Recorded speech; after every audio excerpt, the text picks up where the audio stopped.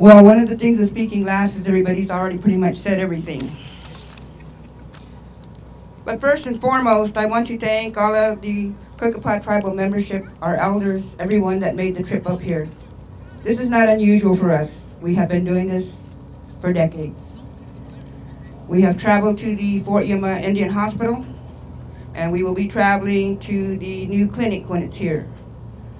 As I was driving up here this morning, I remembered that. And as uh, Mr. Dominguez said, getting a ticket, I've gotten a few of those because I need to make my appointment or else I wouldn't be seen. So we, I think we all know what that feels like. I want to also thank the Quechan membership. I have lived here all my life. I have been honored and privileged to know many of you in many different ways throughout the years. And I am proud to say that I am a part of the Yuma community and that a river divides us, but we are one. And we worked as one to get this done. And I would really be remiss this morning if I did not acknowledge the work that uh, Mr. Melvin did. When he came down, I think we looked at him as the school teacher that said, you guys need to get in a room and get this done. Here's what you need to do. Here's how you need to do it. So he rounded us up, and no matter what we wanted to do or what we felt we had to do, he said, no. If you guys want it done, this is what you got to do. So I'm really happy to see him today here. Uh, thank you, Mr. Melvin. Uh, maybe we didn't thank you too much back then. We probably had other words, but thank you for all that you have done for us. It's a part of growing up. None of us like to be told what to do by our parents, but I think many of us are much better people for that. So I am proud today to be a part of this second leg of the journey. As everyone said, it was a fight getting the money. We got it, we lost it. We got it, we lost it. We got it. We still weren't excited. We said we want to see it in black and white. We got it. Then we said we want to break ground so we can get started. That took forever. But here we are. In the 80s, as we fought for this, we're saying maybe in the 90s we're going to have a new hospital. 90s came and went. 90s, let's talk about the 2000s, came and went. So here we are, 2016, and we're ready to put the shovel in the ground. But that's only part two. I'll be excited when the building goes up. So everyone has talked about all of the work that has been has gone into this. So I'm not going to go down that road again because it was a long, hard road. And I can't attempt to thank everyone that was involved because I know I'll miss someone. But again, I've had the honor and the privilege of working with past presidents of the Quechan tribe, Cocopah tribe. Again, we don't always agree, but the goal was the same. It was how to work together to get to that goal. So we have all worked together. And today in the audience, I see some past council members from, uh, from Cocopah anyway. I see Mr. Neil White, I believe Mr. Erwin Twist, Ms. Phyllis Miller, Ms. Faye Ortega, Mr. Paul Soto. They were all on council many years ago. And this fight was going on back then. Yes, give them a round of applause. This is how long it's gone back. Faye's the only one here with hair whiter than mine.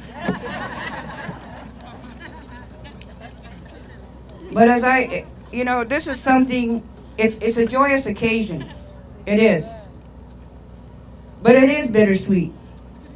Because there are so many that fought for this. There are so many that waited for this day. And they've gone on. They've passed on. And I know there are bitter feelings among people. But all we can try and do is make it better. As Mr. Dominguez said, you know, we fought to keep the hospital. We fought and we fought. But we knew one day it was either we're going to take something here, a better facility for our people, or we're going to stick to our guns and fight for another two, three decades. We need something for our people now. So decisions had to be made. Maybe they weren't the most popular, but they are decisions based on what we need. As I came up here this morning, I thought about the hospital because I believe there's going to be a part of taking it down. I have bittersweet memories of that also. Much to the chagrin of many of my membership, I was born there. So it has fond memories for me. But I also saw many of my family members pass there. And I think one of the hardest things that I, I get over, I try to get over day to day, is watching them wheel my mother down the corridor, getting ready to be flown off to Phoenix, and to never see her return. So there's all kinds of emotions and memories in that facility good, bad, indifferent. But it, it feels good to stand here. My journey in this began back 30 years ago. And as I said, I have been honored to work with past presidents, council members, endless people, legislators, some that have actually passed on also. But we are here today, 2016. Hopefully, in a few more years, or a couple of years, no more, I hope, that we can open the doors and walk in. And that will create a tremendous occasion.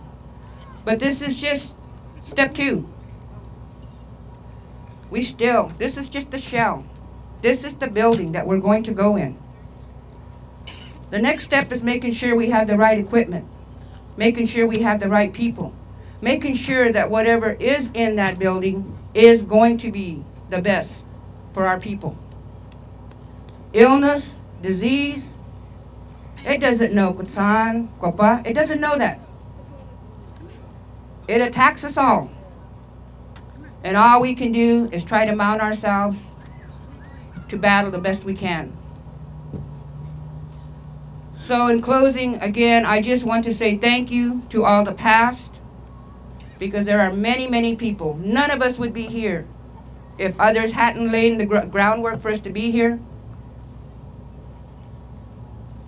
And the pride and the dedication we can show them is that we will carry this on and we will get this done. It's good to see Dr. Harrison and some of the other people that have come and gone. Again, as uh, Dr. Harry said so Alan eloquently, not died, but have moved on to other places. I'm glad to see they came back to share this time with us. And to all of you, I know you have things to do, but I'm glad to see you here, our Head Starts, our young children. This is all about them. We've come through our lives and we've come to a place that we understand what our Creator has given us. What we do with it is our choice. And hopefully that choice includes bringing up these young children in a way that will show respect and dedication for the people that raised them. So thank you very much. Thank you for being here this morning. I appreciate each and every one of you and all that you do in any role that you may play in getting the job done. Thank you very much.